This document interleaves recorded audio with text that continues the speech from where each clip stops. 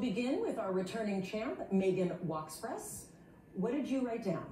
What is archipelago? That is correct. It now means any chain of islands. And how much are we going to add to your score? $201. That gives you 8,601. Jenny Scholar, did you come up with archipelago? No. What is Tyrrhenian? That is not correct. And how much did you wager? 8,700. That'll take you down to 3,500. And let's go over to Rob Kaplan. Rob, what did you write down?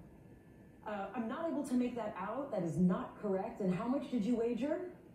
$7,901.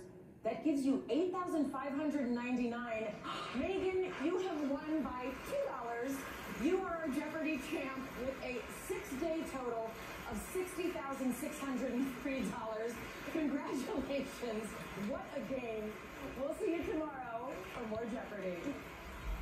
Promotional consideration provided by Consumer Cellular.